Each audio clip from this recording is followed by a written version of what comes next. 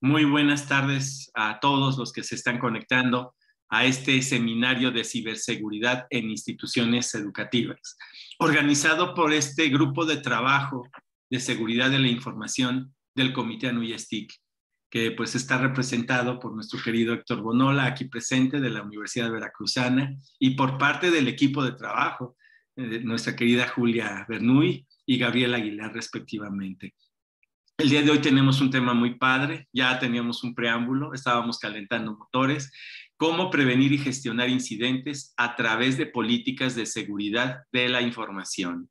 Uf, este, interesante. Seguramente nuestro invitado especial, estoy hablando del ingeniero Jorge Osorio Bretón, este, pues que nos hará, nos hará una buena exposición, seguramente nos hará preguntas que como bien decíamos en el preámbulo, a lo mejor pues tenemos mucho que hacer.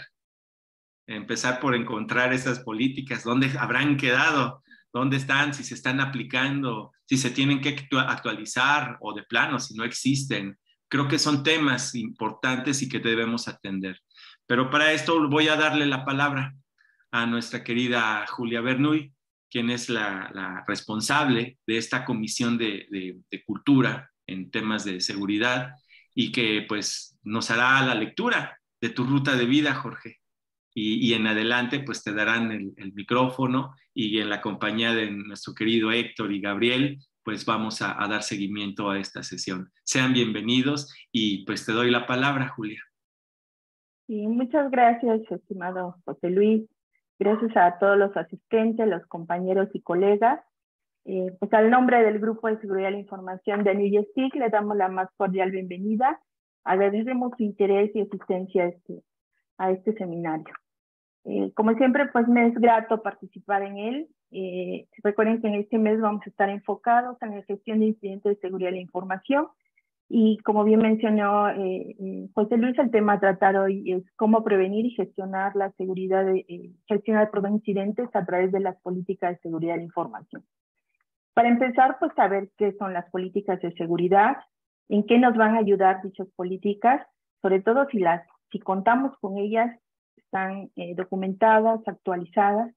Pero bueno, para andar más sobre este tema, contamos hoy con la participación de un experto, eh, el ingeniero Jorge Osorio Bretón, y él es cofundador y director del servicio de consultorías de CSI. CSI. Pero eh, antes de empezar, voy a dar un una breve eh, reseña, voy a, decir una breve reseña de nuestro invitado. Él es ingeniero en cibernética y sistemas computacionales por la Universidad La Salle.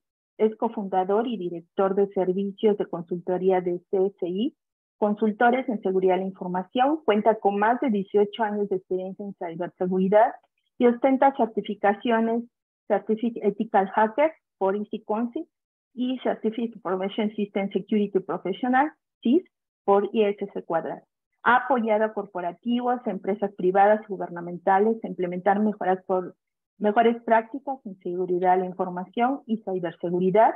Adicionalmente, ha apoyado también a realizar investigaciones de análisis forense y prevención de fraudes organizaciones, en organizaciones nacionales e internacionales. Eh, es presidente y cofundador del capítulo de ISS Cuadrada para la Ciudad de México.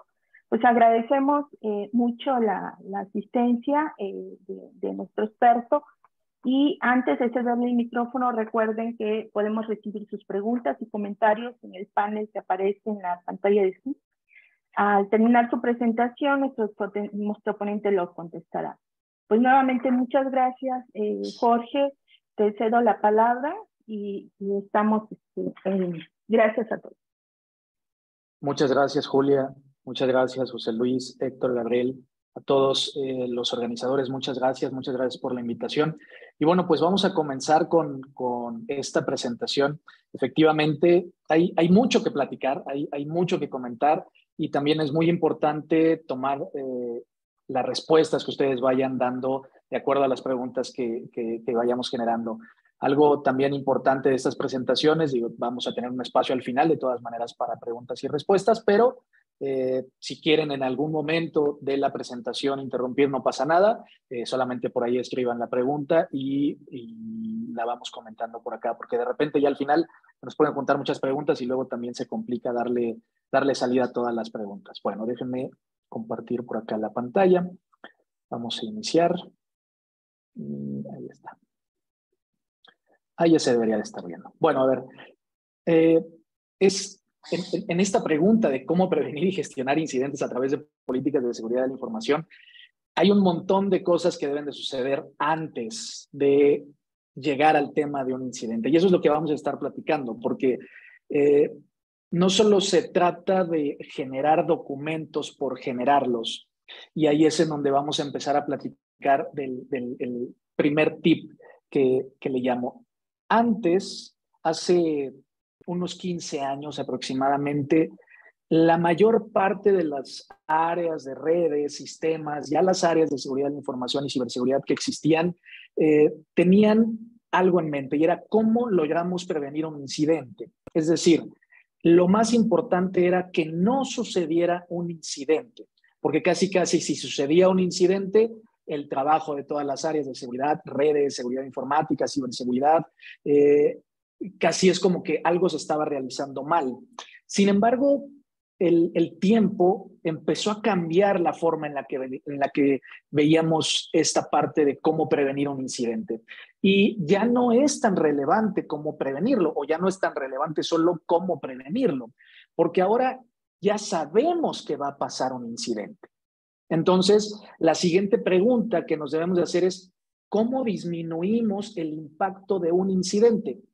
Ojo que en, esta parte, en, en este avance, en este crecimiento o madurez que llevan las áreas de seguridad, es muy difícil que de entrada un área de seguridad que está recién formada en una organización eh, pueda responder, eh, si acaso, a la segunda pregunta, ¿cómo disminuyes el impacto de un incidente? Algunos lograrán justamente decir, bueno, hay que hacer un análisis de riesgos, ahorita vamos a platicar de eso.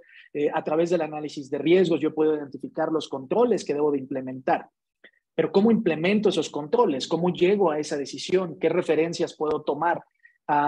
solamente llego e instalo cualquier cosa ya, eh, la, la, realidad es que no.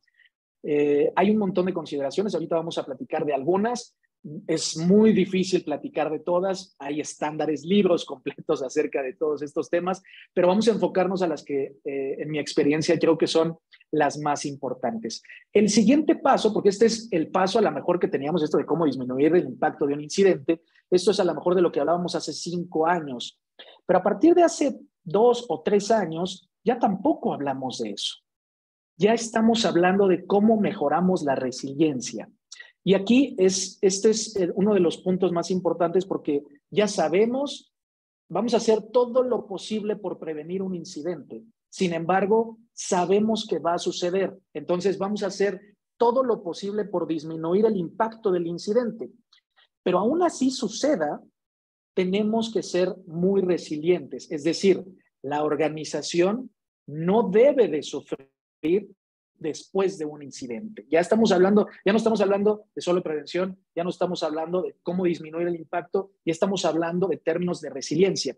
Y esto ya tiene que ver con análisis posteriores al incidente, tiene que ver con comunicación posterior al incidente, tiene que ver incluso de cómo una empresa puede recuperarse de un incidente y hasta tal vez convertir una mala experiencia en una buena experiencia. Eh, esto obviamente para para todos los que consideren sus clientes o los colaboradores internos o las personas que están directamente involucradas con, cualquier organización que sufra un incidente. Vamos a poner ahorita algunos ejemplos acerca de eso.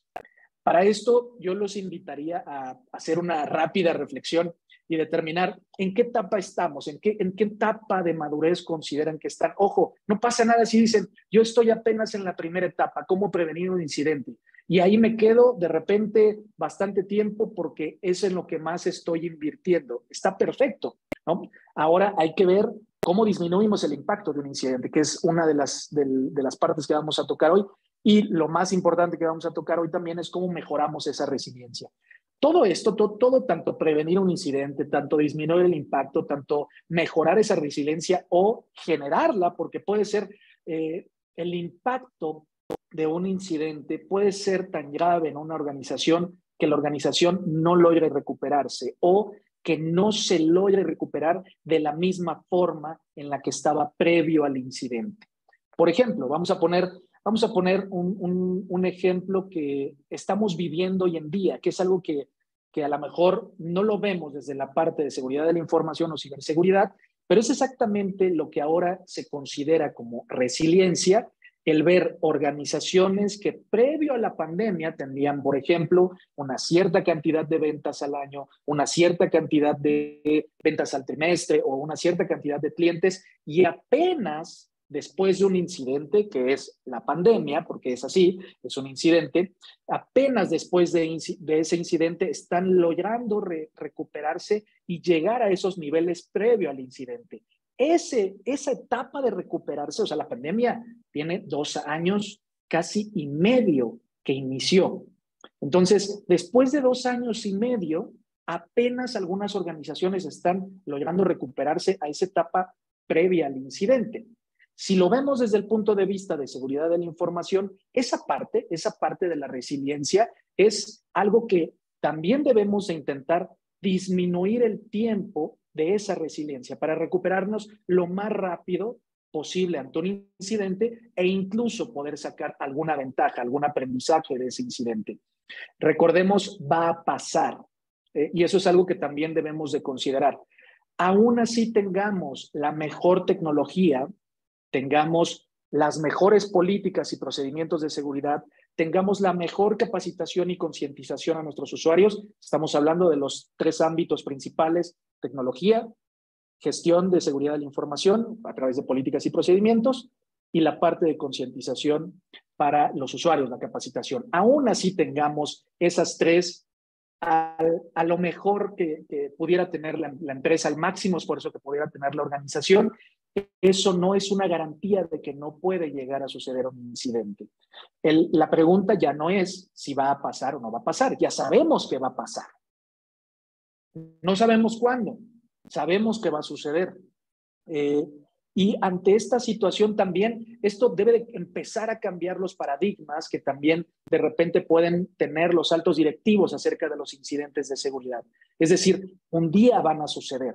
Lo que buscamos es disminuir el impacto y que cuando sucedan, la organización logre recuperarse lo más rápido y de mejor forma. Eso es la parte de la resiliencia. Entonces, hace, hace poco eh, me llamó muchísimo la atención eh, porque en redes sociales por ahí compartí que eh, se acababa de generar una tesis, una, una tesis aislada en un tribunal colegiado de circuito en donde ya ciertos mecanismos que hoy tienen, por ejemplo, los sistemas bancarios, pueden ser utilizados para validar si una persona realmente hizo una transacción o no, como lo puede ser la geolocalización o la IP desde la cual se está realizando una transacción. Me sorprendió muchísimo los comentarios que detonó esa publicación porque algunos todavía creen que el riesgo no amerita que el banco eh, esté manejando esos datos. Eh, y, voy a comentar esto porque me parece muy importante. Los bancos hoy en día y desde hace años ya consideran dentro de la parte de ciberseguridad, dentro de la parte de sus propios incidentes, que va a haber fugas de información. Ya consideran que estos incidentes van a suceder. Por eso, ante, ante las recientes fugas que ha habido de bases de datos de cualquier banco o de varios bancos, la respuesta también es muy, eh, muy neutral por parte del banco. Es decir, ya se consideraba que esto iba a llegar a suceder en algún momento. ¿Por qué razón? Estamos hablando, hablando probablemente de bancos que tienen eh, millones de registros y que los tienen divididos y que los tienen tal vez procesados por múltiples eh, proveedores. Es muy difícil mantener esa cantidad de registros y con ese nivel de segregación o con ese nivel de división o granularidad de los datos, es muy difícil mantenerlo seguro. Entonces, ya se considera como parte de, eh, de los riesgos que va a suceder un incidente. Es decir, ya, ya estamos hablando de otra situación con, con, con estos bancos. Entonces, cuando nos ponemos a pensar, oye, ¿y vale el riesgo? ¿Qué es más importante? ¿Que el banco tenga los datos o que yo me esté previniendo de alguna forma, eh, debemos de considerar estos números. Estos números que voy a presentar a continuación no son números que, eh, digamos, nos estemos inventando, que de alguna forma eh, estemos considerando exagerar. Son números de la propia Conducef. No sé qué, qué pasa con, mi PowerPoint que se quedó atorado. ¿Alguien me puede decir si, si ve la, la grafiquita de, de Conducef o no la ven? Se ve negro. No, no, se, ve negro, ¿verdad? Se ve completamente negro. Sí, es que se, quedó atorado el PowerPoint. Bueno, les empiezo a platicar a ver si ahorita se, se desatora. A ver, Conducef tiene, eh, Conducef es un organismo que es un organismo que principalmente es un organismo conciliador, es decir, no llega a tener dientes como lo pudiera ser algún otro organismo regulador o más regulador como lo puede ser Banco de México, como lo puede ser Comisión Nacional Bancaria de Valores o Comisión Nacional de Seguros y Fianzas. En fin, eh, Conducef es un organismo más conciliador. Y lo que intenta hacer Conducef es conciliar justamente los reportes de fraudes a través del uso de servicios financieros eh, digitales. Entonces, ellos concentran toda esta información y la publican de forma periódica. De esa manera, Conducef ha estado publicando eh, desde, yo traigo este dato desde, déjenme ver, tal vez desde el 2014 o del 2015. Y entonces van eh, agregando nuevos datos año tras año. A partir del 2021 lo dejaron de hacer. No sabemos por qué, simplemente no hay nueva información. No sabemos si cambiaron la manera en la que recolectan esa información o simplemente ya no la publican. Eh, de cualquiera de las formas, lo, que, lo que estoy esperando aquí que el PowerPoint reaccione, se los cuento de, cualquier forma, es que en el 2020 había un reporte por cantidad de fraude cibernético en el uso de los eh, servicios bancarios por más de 12 mil millones de pesos en todo el año. Es decir, eso fue en 2020. En 2021 ya habíamos superado los 14 mil millones de pesos aproximadamente. Ahora en 2022 probablemente estemos rozando los 16 mil millones de pesos. Y van a decir, ¿eso por qué es relevante? Es relevante porque cuando estamos midiendo el riesgo que está viviendo de forma general el país en el sector financiero y que tiene que ver con todo lo que vamos a platicar después, eh, este riesgo estamos hablando de montos que ya superan, en solo fraude cibernético, eh, montos que ya superan el presupuesto anual que puede llegar a tener todo un Estado por parte de la federación. Por ejemplo, el estado de Baja California tiene aproximadamente de presupuesto anual entre 14 mil y 15 mil millones de pesos. Si el fraude cibernético en todo el país ya rebasa el presupuesto de uno de, los estados por parte de la federación, estamos hablando de ya mucho dinero. Entonces, por eso justamente cobra relevancia. Parece que mi PowerPoint terminó de hacer algo este, y aquí está la, la, gráfica que les comentaba acerca de la Conducef. Entonces, estos datos son de Conducef, estos datos están públicos. De hecho, si alguien eh, quiere esta presentación, con todo gusto se las comparto. Viene en la parte de las notas eh, las referencias a todos estos datos para que los puedan consultar.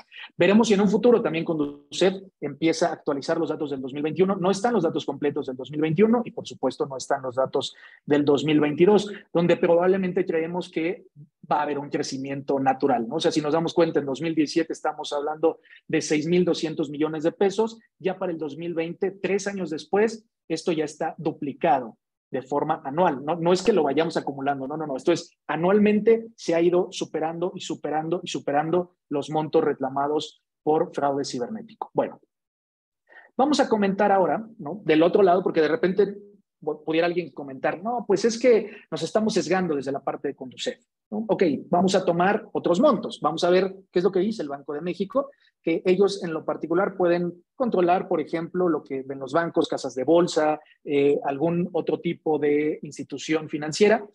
Y eh, tienen, esta también es información que está pública, a partir del el incidente que hubo en el SPEI del 2018, nació este tipo de reportes y entonces a partir del 2019 ya empiezan a generar estos reportes. Entonces, por ejemplo, nos dicen que en el 2019 hubo 784 millones de pesos de afectación por diversos tipos de ataque. ¿no? Estamos hablando siempre de temas muy locales aquí en México porque de repente creemos que los ataques solamente van a pasar en Estados Unidos o solamente van a pasar a las grandes empresas. No, no solamente van a pasar a un banco, pueden pasar a un banco pequeño, pueden pasar a cualquier institución. Entonces, esto nos ayuda a situarnos realmente en dónde estamos.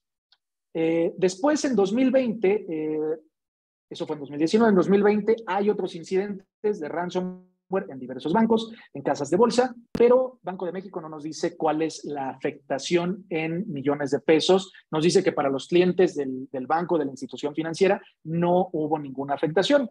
En 2021 dice que eh, aquí hay también una buena cantidad de afectación, por ejemplo, eh, donde dice el ataque al servicio de transferencia a través de sucursales de una institución de crédito y de su casa de bolsa, Estamos hablando solo de ese ataque de 474.40 millones de pesos.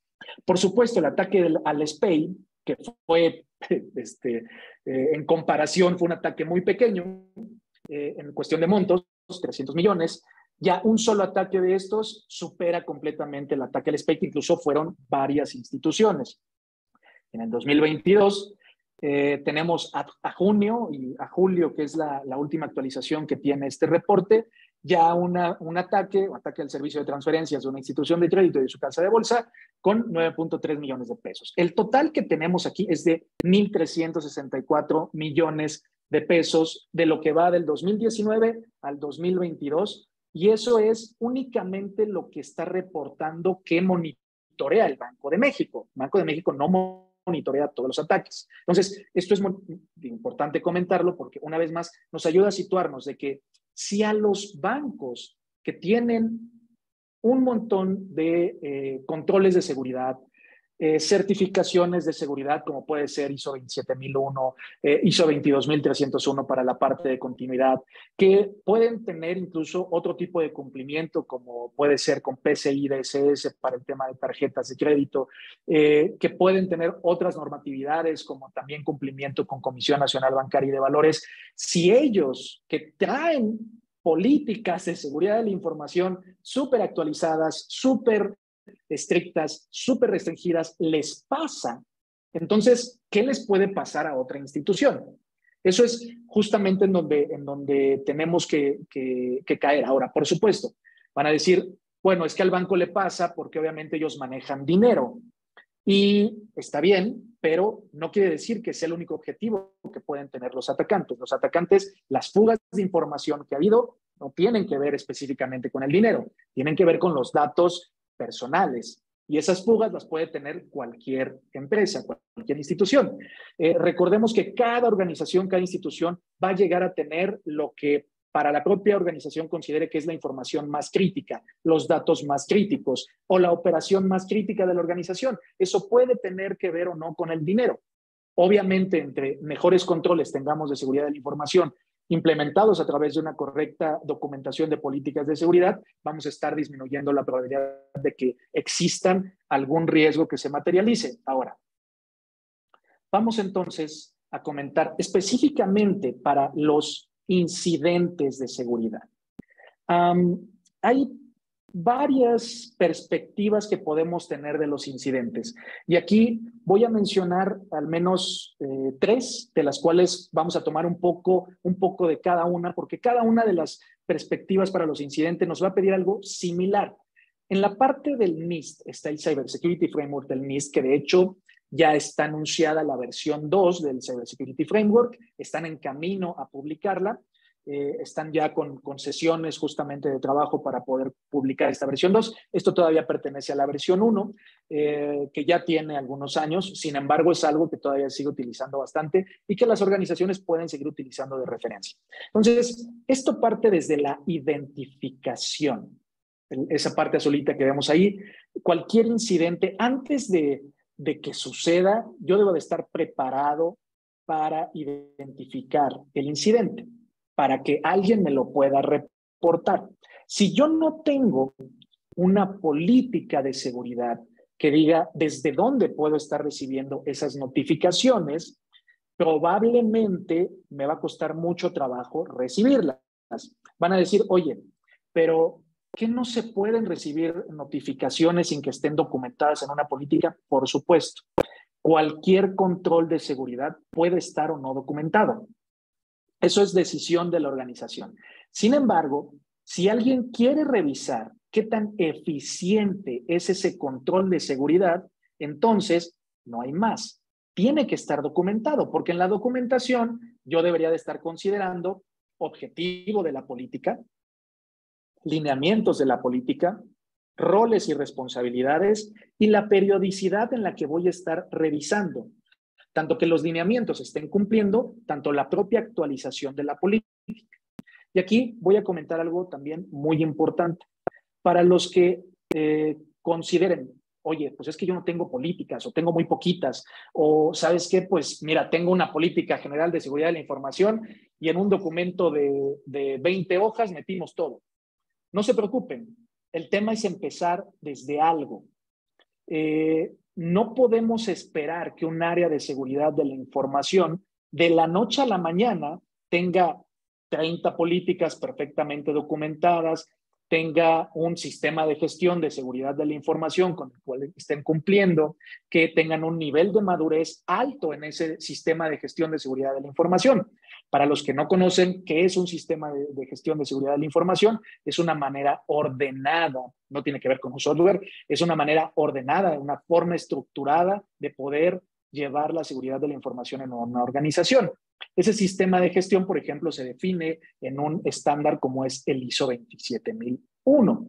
No quiere decir que es la única manera de llevar un, sistema de gestión de seguridad de la información. De hecho, las empresas se pueden certificar eh, sus procesos operativos dentro de este sistema de gestión de seguridad de información. Ahora, también vamos a poner en el, en el balance correcto, en el contraste correcto, las políticas. En, en mi experiencia me ha tocado ver todos los casos eh, eh, que, que pueden existir con relación a las políticas. Organizaciones que no tienen políticas de seguridad, pero que llevan una muy buena implementación de sus controles. Por supuesto, para poder medir la eficiencia, hace falta eh, ver un marco que le ayude al control para saber si se encuentra implementado de manera correcta, encontrar las desviaciones y encontrar también puntos de mejora. Ahora, también me ha tocado ver organizaciones que están en el otro extremo, que tienen políticas perfectamente establecidas, pero que nadie sigue. Ambos casos Ambos casos tienen áreas de oportunidad importantes. Tanto el tener políticas por tener políticas o solo tener políticas porque quiero eh, obtener un papel, que ese papel se llama una certificación, lo cual también está mal. Eh, si van a definir una política, probablemente deba de ser de acuerdo a los propios intereses de la organización, que es lo que ahorita también vamos a comentar un poco, que no podemos dejar de lado de repente en la parte de seguridad nos quedamos un poco de lado pensando como medio egoístamente, ¿no? Es decir, no, es que la seguridad debe de estar de cierta manera por, porque así son las mejores prácticas de seguridad, porque así lo dice tal estándar, porque así lo dice tal normativa.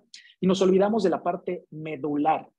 La seguridad de la información debe estar alineada a los objetivos de la organización. Por eso es que cada control de seguridad de la información puede tener una implementación diferente o debe tener una implementación diferente de acuerdo al giro de la organización. Y aún así la organización, o sea, por ejemplo, las universidades, alguien pudiera decir, es que todas pueden llegar a tener el mismo problema. Por supuesto que no. Cada universidad puede estar operando de una manera distinta y cada universidad puede tener una visión, una misión, objetivos diferentes los objetivos de seguridad de la información deben de apuntalar esos objetivos de la organización y deben de ir en la misma dirección de los objetivos de la organización. No pueden apuntar hacia otro lado, no pueden apuntar hacia arriba o hacia... Deben de apuntar hacia el mismo lugar que vayan los objetivos de la organización. Y eso es uno de los parámetros más importantes, porque, insisto, de repente desde el área de seguridad nos queremos también complicar la existencia y de repente es que cuáles son las mejores prácticas. No, es que no estamos alineados a las mejores prácticas, es que no estamos utilizando la mejor tecnología. Vamos a ver cuál es la justificación para eso y si realmente hay o no una justificación para eso. Bueno, después de la parte de identificar, viene la parte de proteger. En el caso del Cybersecurity Framework, es la segunda etapa y en esta parte de proteger tiene que ver con implementar los controles correctos para prevenir un posible incidente. Pero el Cybersecurity Framework está diseñado justamente para pensar en qué va a suceder el incidente. Y entonces lo debo de detectar, que es la tercera etapa.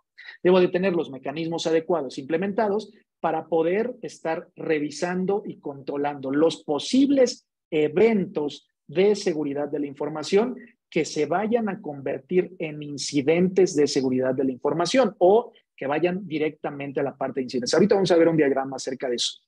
Después de la parte de detectar viene la parte de responder, que esto es qué voy a hacer ya cuando estoy a la mitad del incidente, qué, qué cosas debo de tener planificadas ya para poder responder de manera adecuada. Y después viene la parte de la recuperación, como lo mencionábamos, la parte de la resiliencia.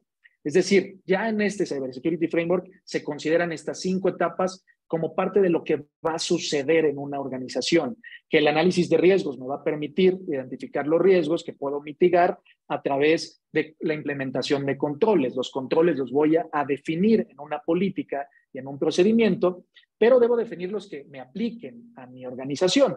Eh, para eso justamente sirve también el análisis de riesgos. Una vez que tengo implementados los controles, yo debo de estar midiendo constantemente la eficiencia, debo de estar eh, mejorando esos controles, no solo a través de las políticas, sino a través de la propia tecnología que estoy ocupando. Debo de poder automatizar los que considere que en la organización se deben de automatizar.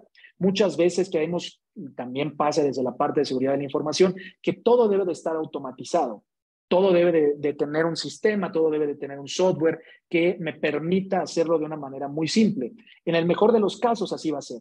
Pero si el riesgo no es tan elevado o, por ejemplo, en ese control puedo tener otros mecanismos para poder estar revisando esos registros, también es válido. Al final de cuentas, lo más importante es la revisión. Por supuesto, si tengo un mecanismo más eficiente o más maduro, va a llevar a poder identificar más rápidamente los riesgos, pero eso lleva tiempo. Entonces, aquí estamos, estamos rompiendo, y, me gustaría que también eh, empecemos a romper un poco los paradigmas acerca de la implementación de software de seguridad, porque podemos, por ejemplo, ver lo que recientemente le pasó a Costa Rica. Costa Rica tiene eh, invertidos millones de dólares en su ciberseguridad. Sin embargo, el el, Estado, es decir, como Costa Rica como país, tuvo un impacto tan alto en el ataque que recientemente tuvieron que se, se declaró como emergencia nacional. ¿no? Eh, y estuvieron semanas, semanas con varios servicios completamente inoperantes. Entonces, muchos podrían preguntarse, oye, pero ¿qué pasa si ellos tenían implementada la mejor tecnología? Oye, ¿qué no tenían implementadas políticas y procedimientos Probablemente algunos sí, probablemente algunos no se revisaban de forma adecuada, probablemente algunos controles que les deberían de haber prestado más atención, que estoy seguro que alguien en un análisis de riesgos les llegó a decir, oigan, hay este control que le debemos de prestar atención. Y probablemente el área de sistemas de, alguna institución o el área de seguridad de la información tomó alguna decisión del tipo, no, ¿sabes qué? Eh, mejor vamos a invertir en esta marca porque me están haciendo un gran descuento. Esos son el tipo de cosas que no debemos de hacer. No podemos caer en, ojo, no estoy este, satanizando a, ninguna de las marcas de seguridad. Es necesaria la tecnología para poder prevenir un incidente de seguridad, pero hay que ver qué tipo de tecnología y en qué momento. ¿no? De repente, una de, los, de, los, de las cosas que también nos encontramos mucho con nuestros clientes es que tienen la, la mejor tecnología instalada y usualmente esa tecnología está subutilizada. Es decir, de las 100 características que puede tener esa tecnología, tal vez están ocupando 30 o 40 o 50 en el mejor de los casos. Y la mayoría de las veces es porque están comprando un Ferrari cuando tal vez necesitaban una pick-up. Eh, lo pongo en, esta analogía porque sucede y sucede muy, muy a menudo. Eh, muchas veces incluso también las áreas de seguridad dicen, es que yo quiero más presupuesto, quiero más presupuesto para nueva tecnología. No, es que ya la última tecnología de moda, aguas. No nos podemos ir a las modas en el tema de seguridad. No quiere decir que no revisemos tendencias, pero los fabricantes de seguridad son expertos en ir a las modas. Tengamos cuidado también con las modas. Los controles deben de ser mitigados por la tecnología correcta, por las políticas correctas. Esto quiere decir que no importa si la moda va por otro lado, si la operación de la organización no va con esa moda, entonces tenemos que implementar los controles de manera adecuada. Bueno, ya hablamos entonces un poquito del NIST. Después viene otro, otra perspectiva para el tema de incidentes que tiene que ver con el ISO. Y este, y este diagrama está tomado justamente del ISO 27035, donde nos dice cuáles son las diferentes etapas. Si nos damos cuenta, es muy similar a lo que nos plantea el Cyber Security Framework. De hecho, hace muchas referencias al Cyber Security Framework aparte del ISO, pero aquí es una lista muy interesante, y si la quieren tomar como referencia, porque eh, nos dice en cada uno de los estándares que trae toda la familia del ISO 27000, que está, por supuesto, el 27035, que está dividido en tres partes, 27037, 38, 40, 41, 42, 43 y 50, que tienen que ver, por ejemplo, ya con cómo voy a colectar la información, cómo voy a mantenerla segura, cómo voy a mantener esa información que voy recolectando en un incidente, de qué manera la puedo mantener segura, eh, cómo voy a atender, eh, cómo voy a contener un incidente. Ya cada uno de estos estándares eh, puede ayudar de acuerdo a la etapa del incidente en el que se esté utilizando. Bueno, esa es una perspectiva. Y tenemos para, para los que digan, oye, ¿puedo tener una perspectiva mucho más moderna? Por supuesto que sí, pero porque estas perspectivas ya tienen años. Eh, vamos a poner una perspectiva mucho más moderna, que es decir, a través del MITRE ATAC, que para quien no conozca, es una matriz que define justamente este organismo que se llama MITRE y que eh, habla de los diferentes tipos de técnicas que pueden existir en un ataque. En todas las etapas del ataque, si esto se puede mapear a una cosa que ahorita vamos a hablar que se llaman playbooks, eh, yo puedo estar previniendo los diferentes tipos de ataque que voy a estar recibiendo de acuerdo a la organización. Es decir, por ejemplo, voy a poner eh, un ejemplo muy sencillo. Si a lo mejor en una de las técnicas habla de escalación de privilegios en Linux, pero no utilizo ningún servidor Linux en mi organización, pues claramente esa técnica no me puede afectar así se hace un análisis de riesgos, así yo puedo descartar, implementar o no un control. Pero justamente de repente puede venir el, fabricante de seguridad que a lo mejor les dice, yo te vendo la suite completa y trae también protección para Linux. Oye, pero ¿por qué voy a comprar la suite completa si no necesito esta protección, esta protección, esta protección? Mejor únicamente compro la protección que requiero. Entonces, es ahí donde podemos utilizar también el MitraTac para poder hacer este mapeo de eh, los las diferentes técnicas que pueden existir en un ataque para eh, generar estos playbooks y generar estas guías para, para prepararnos para ese ataque. Eh, ¿Hasta aquí alguien tiene alguna duda, pregunta, comentario? Me tomo una pausita para tomar tantita agua. Las pueden ir poniendo ahí en la sección de preguntas. Déjenme ver si hay algo por aquí. Mm, no, todavía no. Las pueden ir poniendo por ahí en la sección de preguntas. Vamos, vamos a seguir. Bueno. Entonces, vamos a ver un flujo. Este, este flujo está tomado igual del ISO 27035. Este es un flujo relativamente genérico, entre comillas, para poder atender un evento que se puede llegar a convertir en un incidente. Y aquí vamos a, a tomar el primer, el primer punto. Van a decir, oye, ¿que no un evento es un incidente? No. Eh, un evento de seguridad puede ser que el antivirus está detectando correctamente un virus y lo está eliminando de un equipo. Eso es un evento de seguridad. Otro evento de seguridad es que el firewall está bloqueando adecuadamente el tráfico en los puertos que está cerrando. Otro evento de seguridad es que el Web Application Firewall está bloqueando un SQL injection. Esos son eventos de seguridad. Ahora, ¿un evento de seguridad puede llegarse a convertir en un incidente de seguridad? Por supuesto que sí, dependiendo del patrón de comportamiento de cada uno de esos eventos. Y dependiendo también si ese evento escala o el impacto empieza a ser mayor. Muchas veces lo que sucede es que damos por sentado eh, que si el antivirus está funcionando y me está detectando, entonces no tengo que hacer nada. Justamente es ahí donde viene la importancia de las políticas y los procedimientos, porque si yo no tengo documentado qué hacer o qué debo de revisar en, en un reporte del antivirus, cada cuándo lo debo revisar, quién lo va a revisar, qué debo de estar verificando, qué tipo de patrones de comportamiento me interesan analizar de ese, eh, de ese reporte. O sea, estamos hablando de un análisis del reporte, no del reporte en sí. Por ejemplo, si estoy viendo, oye, cada semana hay un servidor, voy a poner un ejemplo que, es común, cada semana hay un servidor que está detectando y bloqueando un virus y lo detecta cada semana. Eh, ¿Eso se puede convertir en un incidente de seguridad? Por supuesto que sí. ¿Puede ya ser incluso un incidente de seguridad? Por supuesto que sí.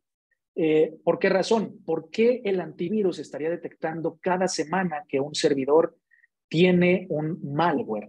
Probablemente porque el malware ya está instalado en el servidor y tal vez cada semana el malware intenta hacer algo que es la actividad que está detectando el antivirus o el antimalware. Entonces, eso puede ya ser un incidente. Puede ser también un falso positivo, por ejemplo, del otro lado, donde reviso, ah, sabes que es que cada semana se realizan los respaldos y entonces cada vez que corre el respaldo, el antivirus está, está detectando una librería como eh, como maliciosa cuando no lo es, es un falso positivo. Pero ese análisis que se tiene que hacer, por ejemplo, puse el caso más sencillo que es un reporte de antivirus, muchas veces no se hace. ¿Por qué? Porque estamos creyendo que el incidente va a explotar completamente, o sea, que de la noche a la mañana voy a tener un problemón gigantesco. Y la realidad es que no. Usualmente los incidentes empiezan con cosas pequeñas. Entonces, si en esas cosas pequeñas logramos detectar o analizar esos detalles, probablemente vamos a tener una prevención adicional. Vamos al mismo caso. Oye, ¿qué pasa si el Web Application Firewall me está detectando o el IDS, IPS o, lo que sea que esté eh, realizando algo similar, me está detectando que tengo un SQL injection que me quieren estar sacando información. Pero yo veo que el SQL injection tal vez va solamente a una página eh, muchas veces lo que puede estar sucediendo es que tal vez ya se está ejecutando el SQL injection. Eh, lo que pasa con el Web Application Firewall o con un IPS o un IDS es que probablemente están detectando solamente una parte del SQL injection. Para los que han llegado a realizar seguridad ofensiva, sabrán que en un SQL injection, por ejemplo, puedo inyectar código, puedo cambiar la manera en la que se está pasando el código eh, para que no pueda ser detectado por un IPS o por un Web Application Firewall. Y a lo mejor lo único que está alcanzando a detectar es algunas líneas de ese SQL injection. Una vez más, un evento de seguridad se puede llegar a convertir en un incidente. Ahora, eh, ¿cuáles son las diferentes etapas que puede tener el incidente y que las debemos de documentar de manera adecuada?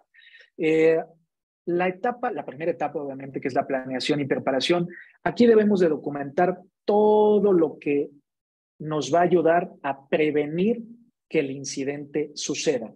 Debemos de documentar cuáles son las líneas que voy a notificar. ¿Quiénes me, me pueden notificar un incidente? Mesa de ayuda, colaboradores internos, eh, eh, trabajo que se realice con, con colaboradores externos, como puede ser un CECIRT, un CERT. Eh, todos ellos pueden ser un punto de notificación para un incidente. Oye, ¿qué otras cosas puedo, puedo revisar de manera proactiva? Un, un análisis de un reporte de un anti-malware, de un firewall, de un IPS, de un IDS. Si tienen implementado, por ejemplo, un, eh, un SIEM, ¿puedo estar revisando lo que está alertando el SIEM? Por supuesto que sí. Usualmente, una vez más, ahí es en donde encontramos detalles de lo que se puede llegar a convertir en un incidente mayor. Pero para eso hay que documentarlo de forma adecuada y estar haciendo que pase, estar haciendo esas revisiones. Después viene la parte de detección y la parte de reporte. Una vez que ya esté el evento, que es cuando se detecta el evento, yo debo de empezar a reportar y a decir, a ver, hay un posible incidente de seguridad que eh, se puede detonar. Y es, y es el momento, que es en la tercera etapa, en donde ya se tiene que tomar una decisión y un análisis previamente de lo que esté sucediendo para determinar si es o no un incidente. ¿Cómo van a decir, oye, qué criterio puedo ocupar? Por ejemplo, ya, ya, ya comenté algunos de ellos. Si en el análisis yo determino, ¿sabes qué? Esto ya está raro. O sea, esto ya no es un comportamiento normal del antivirus, del firewall, de cualquiera de mis, de mis instrumentos origen. Eh, cualquiera de ellos me puede estar reportando algo y yo debo de estar realizando este análisis para tomar esa decisión. En dado caso de que efectivamente se confirma el incidente, entonces yo ya tengo que eh, empezar con un tema de respuesta. Puede ser que después de la evaluación yo determine no está sucediendo un incidente y únicamente eh, se convierte en un falso positivo. Ah, ok. O tal vez eh, no, he llegado al parámetro, no he rebasado el parámetro que yo estoy esperando para considerarlo como un incidente. Ojo, los incidentes no todos tienen que ser de alto impacto. Puede haber incidentes de un impacto medio, de un impacto bajo, o incluso si hay una clasificación de cinco niveles, muy alto, alto, medio, bajo y muy bajo, puede ser un incidente de muy bajo impacto. Pero si ya hay un incidente, por ejemplo, hay una máquina de un usuario que ya se cifró por un ransomware. Solamente fue una máquina de un usuario. El antivirus no lo detectó, tenía instalado el antivirus, el antivirus no lo detectó. Eso ya puede ser considerado un incidente.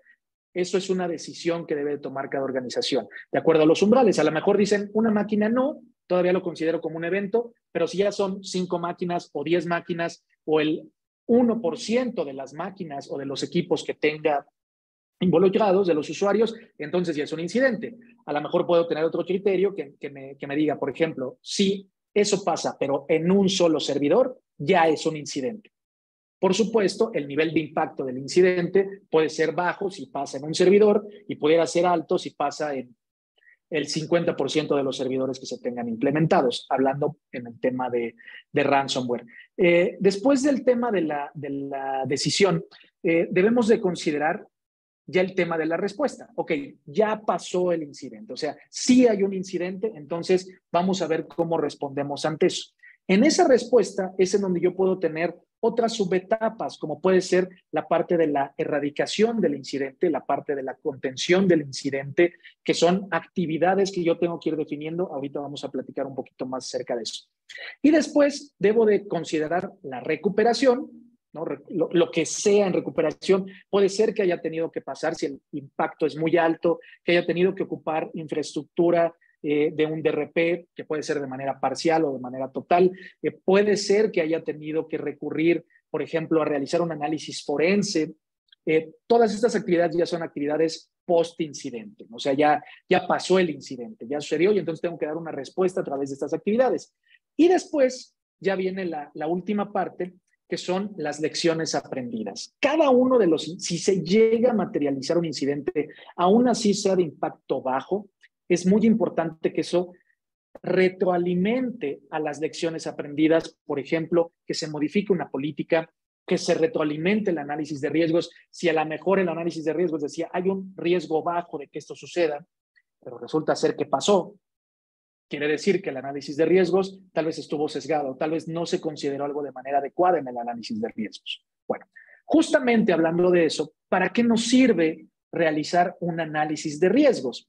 Ya lo he comentado eh, bastante en, la sesión, pero primeramente para identificar obviamente la probabilidad de que se materialice una amenaza que esté explotando una vulnerabilidad o que esté abusando de una vulnerabilidad. El análisis de riesgos debería de considerar cualquier control que a la organización eh, debería de aplicar o debería de implementar de acuerdo al giro, de acuerdo a la operación que tenga.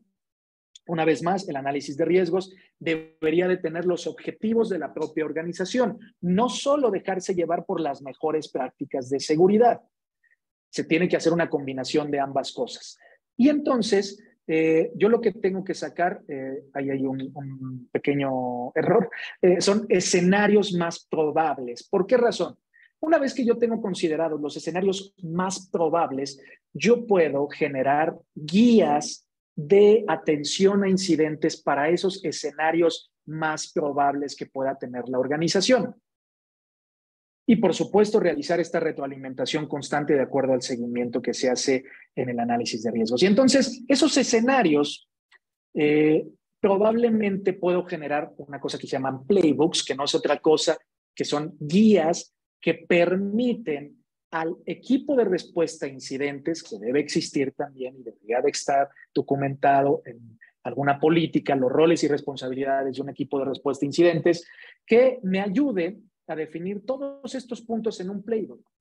Desde los requerimientos previos, que incluyen las tareas técnicas y de gestión que deben ser realizadas antes de iniciar las actividades, los proveedores que están involucrados, los roles y responsabilidades que tiene cada una de las personas que van a atender ese incidente, procedimientos y actividades de investigación, contención, erradicación y recuperación de acuerdo a ese incidente. Por ejemplo, si estoy teniendo un SQL injection, eh, probablemente el playbook vaya a ser muy diferente que si estoy teniendo un incidente de ransomware o si estoy teniendo un incidente de fuga de información.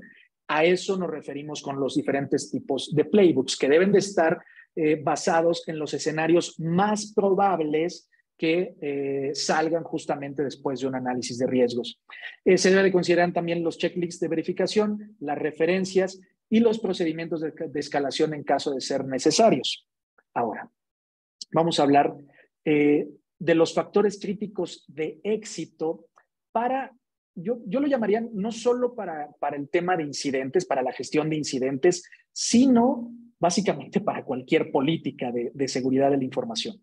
Lo primero, obviamente, ya hablamos de la definición de lo que debe de llevar una política, en este caso de lo que debería de llevar el playbook.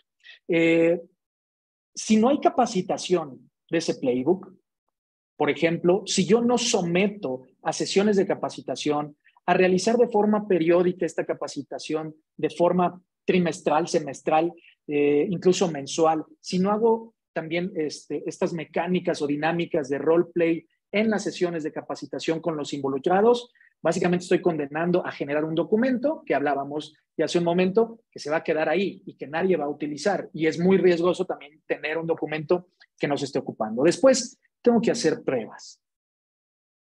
El playbook estos escenarios de pruebas, yo puedo hacer pruebas de escritorio a través de sesiones con los involucrados y siguiendo los pasos definidos de forma general y puedo también hacer una simulación. ¿no? Por ejemplo, si yo tengo un top 5 de escenarios que son los más probables, yo puedo hacer una simulación de cada uno de esos escenarios y prepararme para ese incidente. Probablemente, esto es como un simulacro, imaginemos para los que vivimos eh, cerca de la Ciudad de México o en lugares donde estamos acostumbrados a un, a un simulacro por un, por un posible temblor, por un posible sismo, eh, estamos muy acostumbrados, escuchamos la alerta sísmica y salimos. Sea un simulacro, sea un, realmente un temblor o algo que esté pasando, estamos acostumbrados a eso. Bueno, si esto se hiciera de manera todavía más frecuente, eh, probablemente nos prepararíamos más. En el tema de los eh, playbooks, y de las pruebas que se tienen que hacer con los involucrados en, el, en la respuesta al incidente, sucede exactamente lo mismo. Entre más preparados estén eh, con los diferentes eh, escenarios, es mucho más fácil que se pueda dar atención a un incidente y que no cuando pase el incidente estén corriendo en círculos, que ahora vamos a ver el otro factor crítico de éxito, que es el manejo de crisis. Y esto es algo que muchas veces no se considera en la planeación de un incidente. Pero la crisis va a suceder. Si es un incidente de, alto impacto, la crisis va a suceder. Y entonces, en el manejo de crisis, yo debería de estar considerando probablemente la comunicación interna y externa que debería de realizarse, definición de roles y responsabilidades para tener una buena comunicación. Pero, ¿qué es una buena comunicación? Que se, realiza, que se realice de forma correcta, en el momento correcto, a las personas correctas y por las personas correctas. Esto es muy importante para minimizar también el impacto reputacional que pueda llegar a tener un incidente. A veces un pequeño incidente se puede convertir en un problema más grande por una mala comunicación o a veces un incidente muy grande se puede también disminuir el impacto reputacional por una adecuada comunicación. Esto tiene que ver más con el impacto en la reputación. Bueno, no sé si hasta acá tengan dudas, preguntas, comentarios. Estamos, digo, ya eh, básicamente terminando la, la sesión. Eh, déjenme, les, les pongo por acá. Algo, como lo comentábamos, que debe de existir en el playbook, es muy importante contar con los contactos adecuados en el momento, ya sean proveedores, ya sean CERTs, ya sean eh, gente interna. Todo eso debe estar documentado para que el playbook tenga tenga una eficiencia mayor. Y, por supuesto, los teléfonos de la Policía Cibernética en el país, teléfonos, correos, eh, hasta páginas de Facebook, Twitter o por donde sea que los pueda contactar, serán de mucha utilidad. Por eso los pongo por aquí eh, eh, para que los puedan utilizar. Digo, aquí en el caso de Sinaloa, hasta hace unos meses todavía no tenía policía cibernética, eh, pero bueno, al menos todos los estados la tienen. Recordemos que la policía cibernética en México no depende de eh, tema, temas federales, depende de la Secretaría de Seguridad Pública de cada uno de los estados. Algunos lo tienen mejor implementado que otros, pero bueno, saber que si yo llamo al 089, es un teléfono este, general donde me deben de comunicar a la policía cibernética o unidad de policía científica preventiva o como sea que le llamen en el estado y que me pueden ayudar al menos en darme una guía dependiendo el tipo de incidente. Tampoco, ojo, una vez más, recordemos que la comunicación y el manejo de crisis es lo más importante. ¿A quién le llamo y a quién pregunto? Bueno, hasta aquí no sé si tengan dudas, preguntas, comentarios. Me, me gustaría mucho leerlos por ahí. Muchas gracias, eh, Jorge. La verdad es que muy interesante y como bien has explicado, creo la seguridad pues es un, proceso de gestión más que un proceso tecnológico. Eh, no sé si tengan algún, alguna duda, algún comentario los asistentes. Eh, con gusto que se animen a, a, a, preguntar alguna, alguna duda, algo que hayan implementado en sus instituciones. Yo creo que sí es importante conocer y saber y sobre todo aprovechar que tenemos aquí a, a Jorge que nos pueda mm, orientar y, y, explicar algún, alguna duda que tenga. Que se animen. Mientras, mientras alguien se anima, les comento y es muy importante. Adelante, adelante. Perdón, eh, por ahí ya levantó la mano un usuario, ya se arrepintió. Sí, la, la retiró. levantó y luego ah, ya. la retiró. estaba probando si, la manita servía. No, no pasa nada. Eh, recordemos nada más, eh, como comentario, eh, digamos, para, para esos momentos, que es muy importante que si no tienen las políticas, no pasa nada. Se puede empezar por algo muy sencillo. El chiste es empezar. Si tienen las políticas, pero tiene cinco años que no las actualizan, tampoco pasa nada bueno, hay que dedicarle un tiempo a actualizarlas. Si eh, en el tema de gestión de incidentes, oye, pues yo no tengo absolutamente nada, ¿por dónde empiezo? Ya comentamos algunos puntos de referencia por donde podrían iniciar. Ok, por aquí Hugo Cermeño ya están animando. Eh, nos, comenta alguna referencia bibliográfica por internet sobre el tema de la, de la sesión que estamos tocando hoy. Eh, claro que sí, de hecho, eh, una vez más lo comento para quien quiera la presentación, ahí vienen las referencias. Eh, referencias podemos tener desde el Cybersecurity Framework del NIST, es de acceso público el Cybersecurity Framework del NIST. Podemos tener también el ISO 27001, el ISO, el ISO 27035, las tres partes del ISO 27035, que cada una de ellas habla de diferentes temas. Ahí sí hay que pagar para poder descargar el ISO, pero probablemente puedan encontrar alguna presentación de, de estos ISOs 27035, sobre todo, que eh, les pueda servir. La parte de la matriz igual de MitraTAC es una matriz pública que también se puede utilizar. Ok, muchas gracias, Jorge. Eh, Juan Carlos Olmos eh, nos, nos pregunta cuánto tiempo puede tardar cada una de las fases que se mencionan. Que hiciste mención el, el, tiempo puede ser muy variable de acuerdo al evento que estemos analizando. Eh, algunas veces, de acuerdo al tipo de evento, por ejemplo, el que comentaba, ¿no? si estoy detectando un SQL injection que se ve muy sospechoso, pues eso me puede llevar tal vez lo que sea, una o dos horas de poderlo analizar. Pero si estoy, por ejemplo, analizando algo más complejo que tenga que ver con correlación de eventos en un CIEM o que tenga que ver con algunas otras herramientas o alguna otra correlación que esté haciendo a mano, probablemente me pueda llevar tal vez hasta días poderlo poderlo analizar. Eh, eso en la parte de, la detección. Ya en la parte de la contención, pues por supuesto también depende del impacto. Ahí sí es este, eh, completamente proporcional. Si el impacto es menor, la contención y la erradicación van a ser mucho más rápidas. Si el impacto es mayor, ya mencionaba algunos ejemplos, por ejemplo, el caso del gobierno de Costa Rica, que tardó semanas en recuperarse. Ok. Eh, otro punto muy importante en esto de la implementación de políticas es que es un proceso en el cual debe ser un convencimiento desde la parte más alta de una organización. Si no lo hay realmente, pues es una, se queden buenas intenciones. Por aquí, eh, relacionado a esto, Juan Carlos Olmos eh, nos pregunta cómo podemos convencer a los directivos de invertir en seguridad. Es una excelente pregunta y es un tema que usualmente genera mucho, eh, da, mucho de qué hablar. A ver, ¿cómo los podemos convencer? Concientizándolos del riesgo.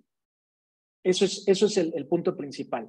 Pero no los podemos llegar a hablar en términos de seguridad o en términos de ciberseguridad. A la alta dirección le tenemos que hablar en sus términos. Y aquí eh, hay, hay puntos importantes. Por ejemplo, si estamos hablando de la inversión, probablemente tenemos que hablar términos financieros, el impacto económico que puede llegar a tener un incidente, mucho más allá de decir, ay, es que nos va a caer un ransomware y eso está afectando. No, espérame, ¿cuál es el impacto económico? Tenemos que llevar alguna medición de ese tipo de impactos. Y a partir de ahí es mucho más fácil ser escuchados que si llegamos nada más con un análisis de riesgos que va muy orientado a la parte tecnológica o la parte de seguridad de la información, que probablemente sean conceptos que ni siquiera manejen. Entonces, hay que hablarles en sus términos. Eso es algo interesante. Segundo, esos términos en los que les hablemos siempre tiene que estar orientado a los objetivos de la organización. Si ellos mismos definieron esos objetivos, entonces nuestro análisis debe de traer esos objetivos y debe de decir por qué la materialización del riesgo puede llegar a impactar esos objetivos. Es, eso también son de los puntos más importantes, porque de repente se nos olvida de, la parte del giro de la organización o los objetivos, misión, visión. Justamente si nosotros nos apoyamos de, esas, de esos objetivos que tiene la organización de alto nivel, que eh, deberían de ser los objetivos que estén rigiendo cualquier organización. Y el último punto, que me parece también súper importante, es apóyense de incidentes, ejemplos similares que hayan sucedido en otras organizaciones, ya sean en el mejor de los casos de manera nacional o eh, eh, de forma internacional en organizaciones similares, que, digamos tengan el mismo tipo de operación. Ok, gracias, Jorge. Por ahí está eh, Magno Nájera Innova, que es la persona que levantó la mano y nos hace eh, una, una pregunta y quisiera saber si maneja eh, si manejas el método Octave. sí, a ver, hay, hay un montón de metodologías. Eh, a ver, la metodología que a mí me, me ha servido para, para el tema de gestión de incidentes es la que está basada en la parte de 27035. Eh, para el tema de análisis de riesgos, la que está basada en el ISO 27005. Pero cualquier metodología que, con las que ustedes sientan cómodos, eh, esa va a ser la mejor metodología. Eh, hay quienes llegan a utilizar una sola metodología y hay quienes también quieren utilizar 20 metodologías al mismo tiempo. Ambos casos es, no es recomendable.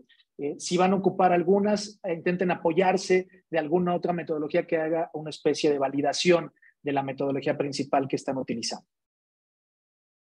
Gracias. Por aquí otra pregunta, G. Durán.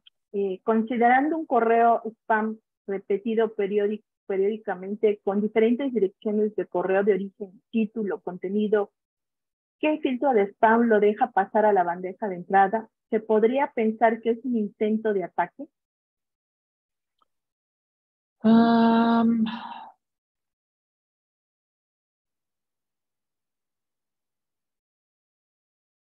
Yo creo que es una mala implementación del control. Es decir, hay algo que no se está implementando correctamente en el anti-spam, porque si estuviera correctamente implementado, no debería de estarlo pasando a la bandeja de entrada.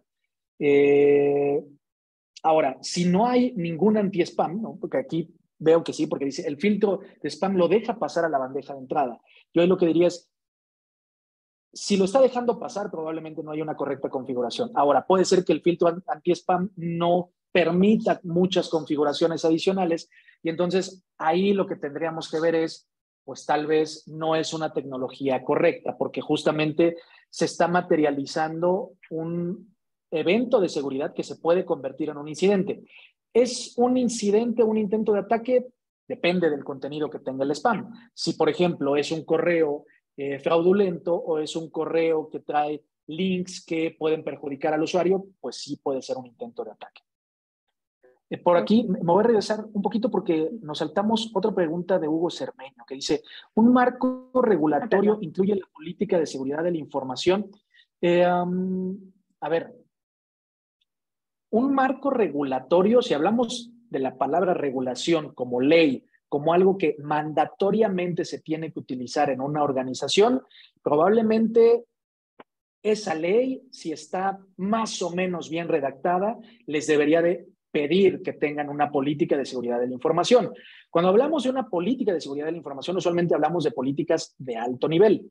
Cuando hablamos en plural políticas de seguridad de la información es que tienen que ver, por ejemplo, con políticas de desarrollo, con políticas de infraestructura, con políticas de gestión de incidentes, ya con diversas políticas de seguridad, no con una sola.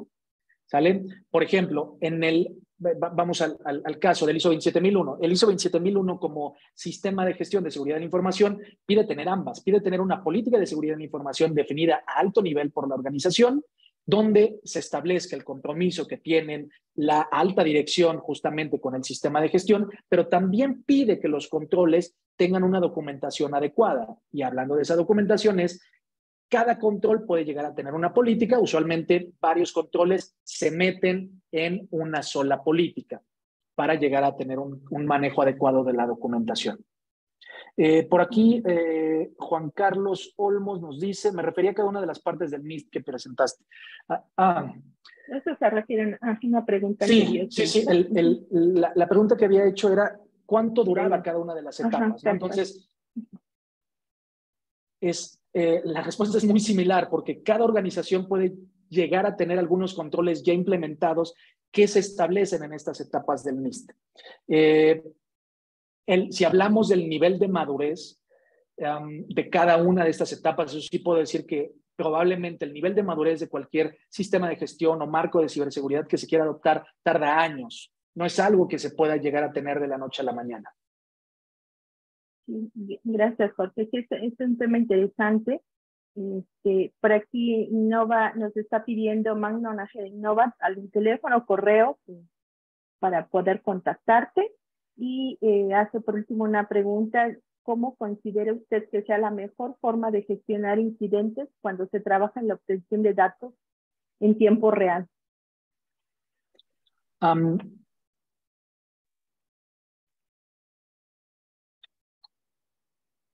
Hace 18 años me tocó implementar los primeros Security Information and Event Management. Cuando hablábamos de tiempo real, nunca era tiempo real. Es decir, el tiempo real siempre vamos en T menos 10 segundos, en T menos un minuto, en T menos 5 minutos. Entonces, me gustaría precisar eso porque de repente pudiera llegar a existir este, es que está sucediendo en este momento el ataque. Sí, probablemente está sucediendo, pero vamos un poco atrás. Recordemos que para que se genere un log y para que yo lo pueda ver, quiere decir que ya pasó. Y a lo mejor lo estoy viendo unos minutos después de que ya sucedió. Eh, la mejor forma de gestionar los incidentes creo yo que puede ser a través de la correcta obtención de los logs y del correcto análisis que se va a hacer a todos los registros. Es decir, si me pongo muy exquisito en la parte de la implementación de un Security Information and Event Management, no debería yo de dejar solo, por ejemplo, los dispositivos críticos de la organización. ¿Por qué razón? Porque a lo mejor traigo una vulnerabilidad en un switch o en un router que está siendo explotada, que me está generando un log, pero como no lo incluí en el Security Information and Event Management, no lo veo. Entonces, debería de incluirlo también. Si estoy ocupando ese tipo de herramientas que me permiten el análisis en tiempo real, probablemente pueda tener un mejor resultado si estoy viendo eh, ese, ese análisis y, tengo las reglas correctas implementadas. Gracias, gracias. Mm. Eh, para, los que, para los que mencionaban de algún correo, eh, me pueden contactar, digo, ya sea en redes sociales, en LinkedIn como Jorge Osorio Bretón, de CSI. Eh, les dejo un correo electrónico que es jorge.osorio, así como está en la pantalla tal cual, jorge.osorio, arroba csinfo.com.mx. Ahí me pueden contactar sin ningún problema. Ok. Creo que ya no hay alguna otra pregunta.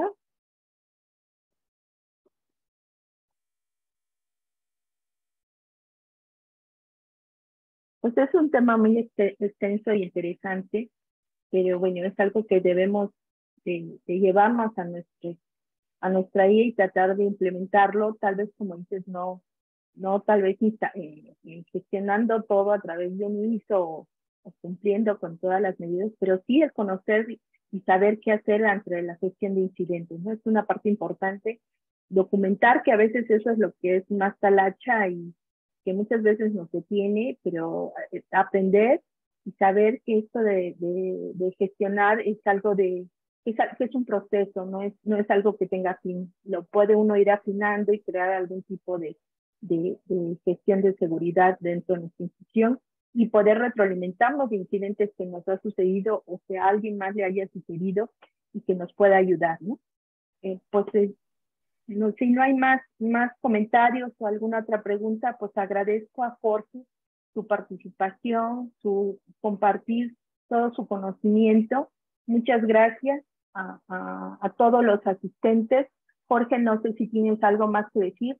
Eh, repito, es una información muy valiosa para todos los que necesitamos a la seguridad. Muchas gracias. Pues agradecerles la invitación, eh, por supuesto, agradecerles a los organizadores y bueno, pues que este tipo de eventos sigan realizándose. La verdad es que creo que generan mucho valor y, muchas inquietudes también en, cómo se pueden ir implementando de acuerdo a lo que cada una de las organizaciones puede tener de retos en seguridad.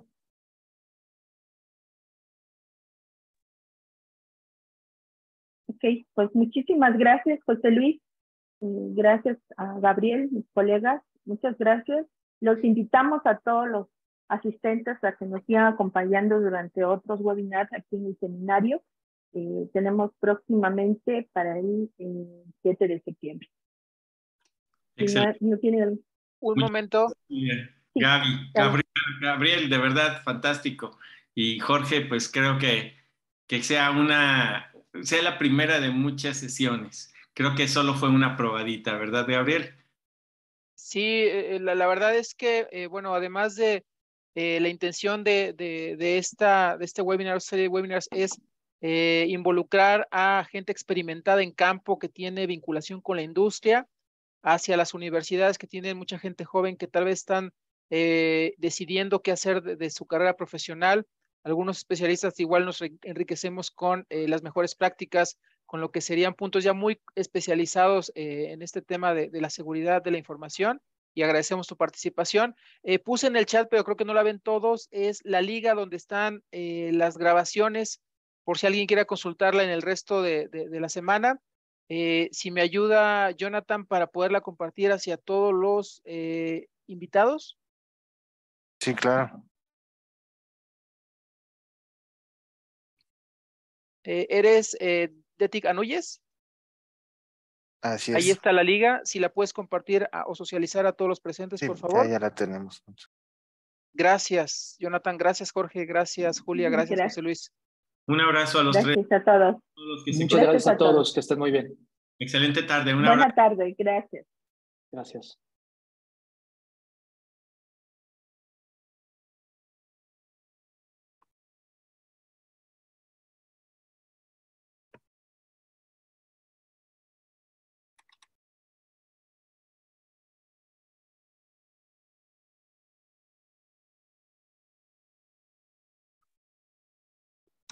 Sigue grabando? Sí, aún se está grabando.